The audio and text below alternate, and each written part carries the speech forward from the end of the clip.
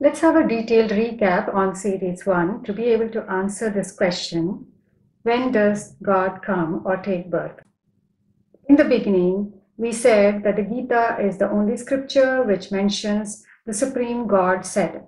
And we said, although the epitome of scriptures, the Srimad Bhagavad Gita, is praised by all, yet the nearly about 300 contradicting commentaries on its 700 verses indicates that we are far away from the true meanings.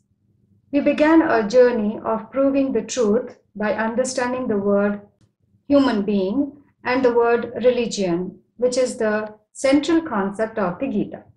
In the Gita, there are two kinds of religion mentioned, called as dharma and adharma.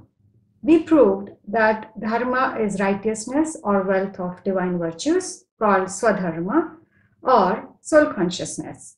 And adharma is the unrighteousness or demonic natures called paradharma or body consciousness. Both the divine and demonic natures are clearly enlisted in the Gita that arrest the possibility of another interpretation. We also proved through the Gita verses that the period of dharma and adharma themselves are the heaven and the hell that exist very much here on this earth itself. The heaven is called Devaloka, Suraloka, or Swarga. Is poetically compared with day, where people are liberated in complete happiness, free from any trace of sorrow. And the other, Nruloka, Asuraloka, or Naraka, is like the night when people are entangled in the ties of sins owing to human deeds and clashing opinions. The period of dharma is oneness, and the period of adharma is division. Now, the obvious question is when is the God needed by us humans? And Bhagavan mentioned in the Gita, verse 7 of chapter 4, that whenever there is ruination of dharma and there is extreme rise of adharma, it is then that I myself have birth. Now we need to question whether the situation of ruination of dharma and extreme rise of adharma exists at the beginning of heaven or at the end of heaven. Or is it at the beginning of hell or is it at the end of hell?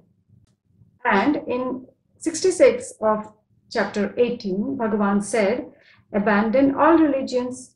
Now, wouldn't this situation be at the end of hell? Or will it be at the beginning of hell, which is called Dwapar Yuga, or at the end of it.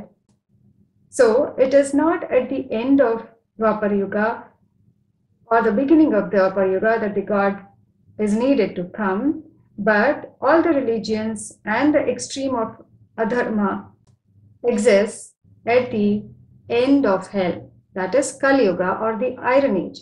The word Kali or iron itself is an indication that the human soul is of worst of its class called Shudra or Kshudra.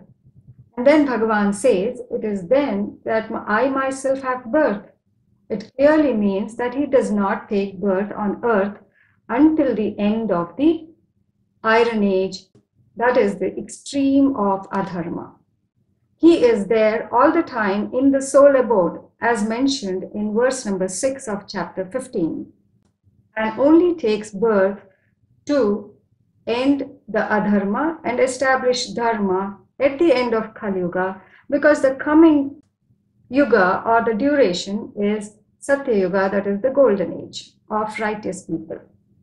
We request the viewers to watch the three series and the episodes within the series in the numbered sequence. We have used questioning technique where each and every point is questioned, answered in the most practical manner supported by religious scriptural references and other authentic evidences, and thus are arranged in logically meaningful flow.